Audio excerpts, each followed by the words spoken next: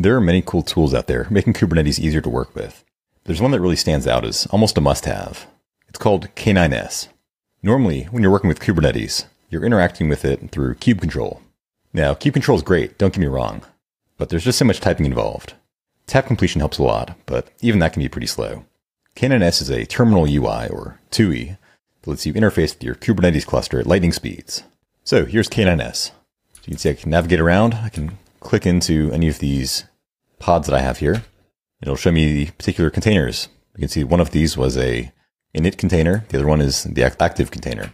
Now, if I hit L, I can check out the logs. Hit Y, I can see the YAML definition. Hit D, describe it. I can use Vim bindings, so I can Shift G to go down to the bottom, GG to go to the top. And we can check out this top container.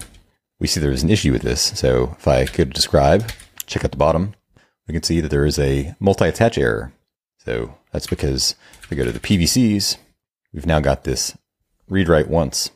Given that we've got two different nodes, the issue is that I can't have this read write once volume type mounted to two different nodes. Now, if I wanted to, I could hit Control D to delete this. I could even force delete this if I wanted to. Hit OK. And now it's going to spin back up. But as we can see, the node here is still back in the same one. So this is not going to work.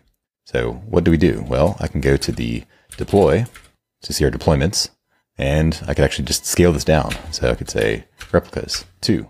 And now if I go back to the pods, which by the way, you hit colon to open up the prompt here, and I can type in whatever resources I want, whether that be a PVC, whether that be a service, and I can easily navigate around.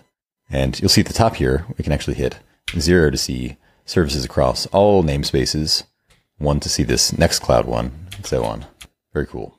Now, if we go to Nextcloud, one of the things that you want when you have a service like this is to be able to access it. Normally, to port forward, you have to write some kube control port forward command and you have to remember the right syntax. But with just hitting Shift F, I can now tell it, okay, I want to mount the Nextcloud port 80 to localhost port 8080. Hit OK. And we can see this cool glasses, port forwarding is now on. So if I refresh this page, boom, now I've got Nextcloud up and running. I can check out this beautiful Gorilla. Very cool. And if I want to check out the logs, I can do that. And it's going to show me the logs across all of the different pods.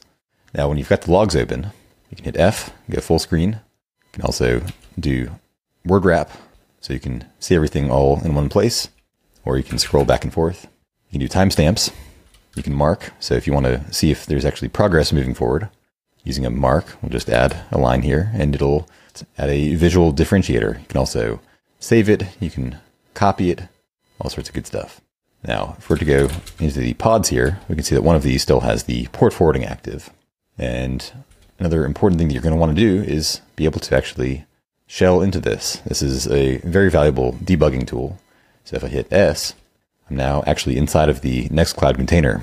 So I can see what all I have in here, and I could actually modify some files if I wanted. Now, one of the things we have when we're dealing with these different containers is the ability to delete or we can kill by hitting Control K. That'll just delete it and as Kubernetes, you know, this being a deployment, it will restart. So all of this is super useful. Again, so much you can do here. The other thing you can do is, let's say that this particular image is not the right image that we want. So I can come in here and I could say, well, hitting I can change the image. We've got, again, that init container, which is fine, but let's say I want to roll back to Nextcloud 25. Well, I could do that. And as you can see, it's now updated and it's going to kill all those existing containers and it is going to restart the pods with this new image. So if I go to describe, well, we're getting some sort of error here. And the beautiful thing is with Kubernetes, when things go wrong, usually let's go ahead and delete it. I'll force delete for fun. And we'll see a new one is kicking off.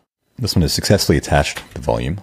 This one we can see is not going to succeed because it's on that Y volume. Those are on two different instances. So let's go back to the deploy and we'll scale it down to one pod for now. We've got an error. And so let's check out what's going on. Can't start Nextcloud because the version of the data is higher. Well, very good. So that's obviously not something you'd want to do in any case. The other thing you can do is you can actually check out your Helm resources. So check out what the definition of all the templates are by hitting Y. And you can see all the config that was created. You can also see by hitting V the set of values that were defined. So with this, if I was to just say I want to delete this, this will just do the Helm uninstall, and now we'll see that everything is going to eventually spin down. If I want to do a Helm install, I still have to use Helm to do that. Same thing if I wanted to kube control apply. So I can do this, and again, now this is set up. But if I come back in here, go into here, and what do you know? It's back up and running. Now, another thing that you can do that's quite useful is if you go to a deployment or a service. So if you hit E, this will bring you into your editor. And then we can do is make whatever changes you want. So in this case, let's say I want to change the replicas to be three. Save it. Well, now I've got three replicas. Beautiful. As you can see, K9S makes navigating around so much easier. You're still going to need kube control and Helm for certain operations like installing new resources. But when it comes to digging around in your cluster, nothing beats K9S. To get it installed, you can use your OS's package manager, then just run K9S and you're off to the races. It uses your kube config settings, so there's no need to set up any additional configuration. Definitely give this one a go. Alright, I'll see you in the next one.